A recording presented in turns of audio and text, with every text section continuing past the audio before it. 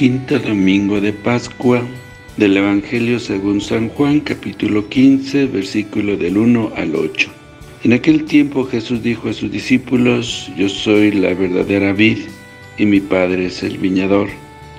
Al sarmiento que no da fruto en mí, Él lo arranca, y el que da fruto lo poda para que dé más fruto. Ustedes ya están purificados por las palabras que les he dicho permanezcan en mí y yo en ustedes. Como el sarmiento no puede dar fruto por sí mismo, si no permanecen en la vid, así tampoco ustedes si no permanecen en mí. Yo soy la vid, ustedes los sarmientos. El que permanece en mí y yo en él, ese da fruto abundante, porque sin mí nada pueden hacer. Al que no permanece en mí, se le echa fuera, como el sarmiento y se seca. Luego lo recogen, lo arrojan al fuego y arde. Si permanecen en mí y mis palabras permanecen en ustedes, pidan lo que quieran y se les concederá. La gloria de mi Padre consiste en que den mucho fruto y se manifiesten así como discípulos míos. Palabra del Señor. Gloria a ti, Señor Jesús. El relato de la vid no es en rigor una parábola ni una alegoría, sin una fórmula de presentación, de identificación y reconocimiento. Jesús realiza cumplidamente lo que esta imagen significa. Él dice, Él es la vid verdadera, sin atenuaciones de ninguna clase. Esta imagen de la vid no evoca una estampa simbólica del campo, sino que posee connotaciones de rivalidad y enfrentamiento.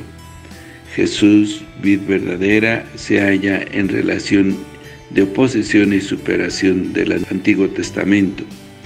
Se opone frontalmente al judaísmo, caracterizado en sus símbolos más reconocidos. Es el emblema del templo, era una inmensa vid de oro, lo mismo en la sinagoga de Yamnia.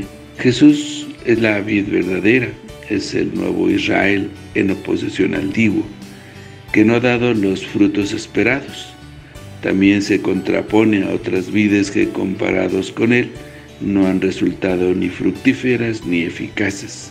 El dueño de la vid es el Padre. Jesús se despide de sus amigos más íntimos con una recomendación que es también un imperativo. Les dice, permanezcan en mí. El verbo en griego, me no, no tiene ningún significado sobrenatural, lo que Jesús pide a sus discípulos es que se mantengan firmes y tengan consistencia en lo que han aprendido y vivido junto a Él. El motivo de esta petición radica en que solamente firmes y fieles a lo que han aprendido y vivido con Jesús, solo así podrán producir los frutos que de ellos esperan en la vida. Jesús, en el tiempo que convivió con sus discípulos, no fundó una institución ni, ni puso en marcha una empresa. Jesús fue derecho al fondo de lo que es determinante en la vida. Vivió de forma que cambió la mentalidad y el corazón de aquellos hombres, sus discípulos.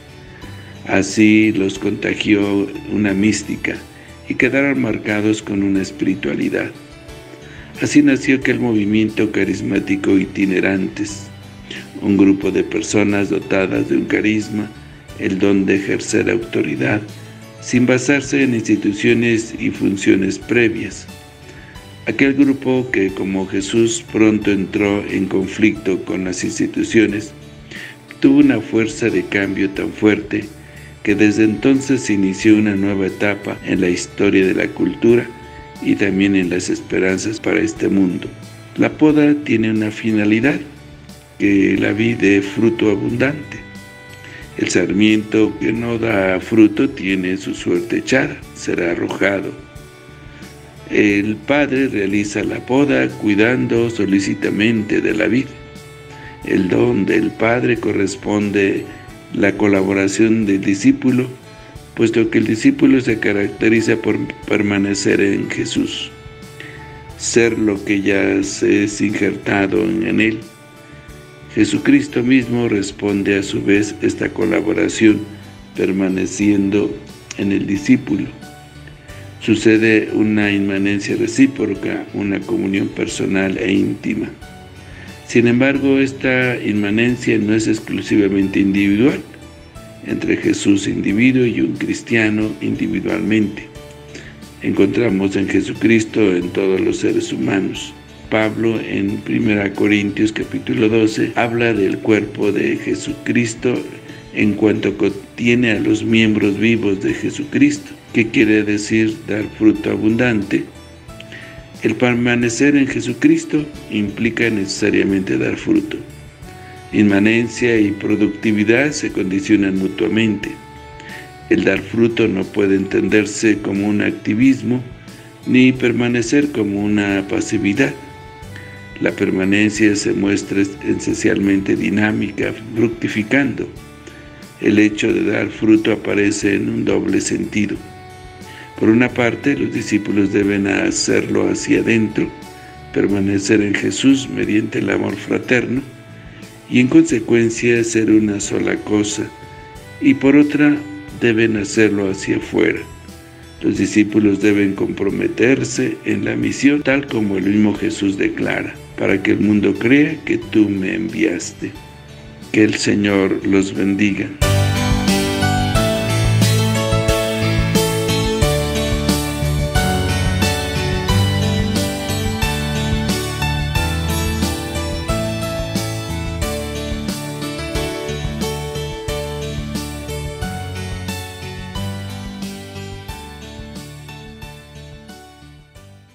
La bendición de Dios Todopoderoso, Padre, Hijo y Espíritu Santo, descienda sobre ustedes, que los acompañe siempre. Que el Señor los bendiga. Si te gustó este video y deseas seguir recibiendo el Evangelio, misa en vivo, oraciones y muchas reflexiones más, Ayúdanos a seguir creciendo. Suscríbete a este canal de YouTube. Activa la campana de notificaciones. Deja tu comentario. Dale me gusta. Y compártelo con todos tus seres queridos. Que el Señor te bendiga a ti y a toda tu familia. Bendiciones.